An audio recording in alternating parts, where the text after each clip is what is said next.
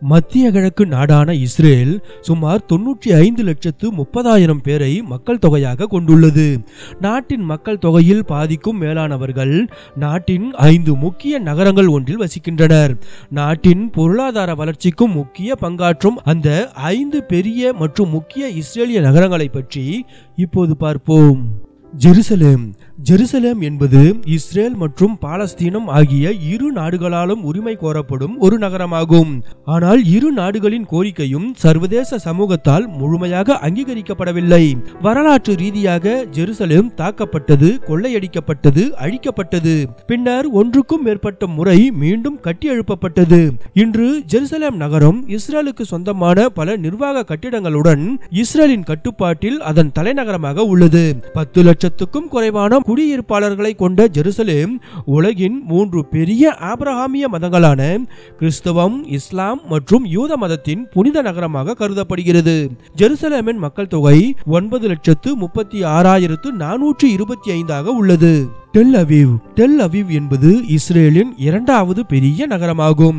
சுமார் நான்கு லட்சத்து அறுபதாயிரத்து அறுநூற்றி பதிமூன்று பேரை மக்கள் தொகையாக கொண்ட இது இஸ்ரேலின் பழங்கால டேன் பழங்குடியினரின் தளமாக இருந்தது. மற்றும் ஆயிரத்து தொள்ளாயிரத்து ஒன்பதில் டெல் அவிவ் யாஃபோ நகரமாக நிறுவப்பட்டது. இஸ்ரேலின் பொருளாதார மையமாக விளங்கும் டெல் அவிவ் நகரம் அதன் இளம் மக்கள் தொகைக்காகவும் ஆடம்பரமான இரவு வாழ்க்கைக்காகவும் நன்கு அறியப்பட்ட நகரமாக உள்ளது.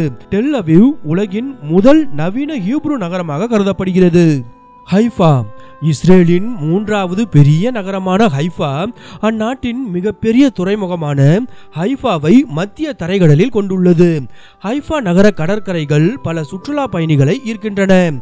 ஹைஃபா அதன் மத சகிப்புத்தன்மை மற்றும் உயர்ந்த வாழ்க்கை தரத்திற்காக நன்கு அறியப்பட்ட நகரமாகும். இது வடக்கு இஸ்ரேலின் மிகப்பெரிய நகரமாகவும் மற்றும் இஸ்ரேலின் அழகிய நகரமாகவும் அறியப்படுகிறது. ஹைஃபா நகரின் மக்கள் தொகை சுமார் இரண்டு லட்சத்து எண்பத்தி ஐந்தாயிரத்து முன்னூற்றி பதினாறாக உள்ளது.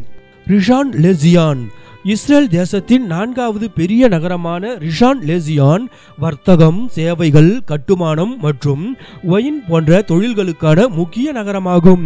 ரிஷான் லேசியான் என்ற பெயரின் அர்த்தம் ஃபர்ஸ்ட் டு ஜியான் அதாவது ஜியானுக்கு முதலில் என்ற அர்த்தத்தை தருகிறது. இந்த நகரம் பாகுபாடுகளை எதிர்கொண்ட கிழக்கு ஐரோப்பிய யூத மக்களால் நிறுவப்பட்டது. இந்த வரலாற்றின் நினைவாக ரிஷான் லேசியான் நகரம் அதன் கடந்த காலத்திற்கு அர்ப்பணிக்கப்பட்ட ஓபன் ஏர் மியூசியம் ஒன்றையும் கொண்டுள்ளது. இந்நகரின் மக்கள் தொகை சுமார் இரண்டு லட்சத்து ஐம்பத்து நான்காயிரத்து முன்னூற்று எண்பத்தி நான்காக உள்ளது. பெட்டா டிக்வா. டெல் அவிவ் நகரின் கிழக்கே அமைந்துள்ள பெட்டா டிக்வா நகரம் மக்கள் தொகை அடிப்படையில் இஸ்ரேலின் ஐந்தாவது பெரிய நகரமாகும். பதப்படுத்தப்பட்ட உணவுகள் சோப்பு ஜவுளி உலோக வேலைகள் பிளாஸ்டிக் தச்சு வேலைகள் மற்றும் ரப்பர் தயாரிப்புகள் ஆகியவற்றின் உற்பத்தியை அடிப்படையாக கொண்ட பொருளாதாரத்தை பெட்டா டிக்வா நகரம் கொண்டுள்ளது. Alcatel Lucent ECI Telecom IBM Intel Oracle Corporation மற்றும் கிளாக்ஸோ ஸ்மித்கிளைன் போன்ற அமெரிக்க பெருநிறுவனங்கள் தங்களது தலைமையகங்களை பெட்டா டிக்வா நகரில் அமைத்துள்ளன. பெட்டாடிக்வா முதலில் இஸ்ரேலில் ஒரு விவசாய குடியேற்றத்தில் இருந்து வளர்ச்சியடைந்தது பெட்டாடிக்வாவில் இரண்டு லட்சத்து நாற்பத்தி ஏழாயிரத்து தொள்ளாயிரத்து ஐம்பத்தி ஆறு பேர் வசிக்கின்றனர்.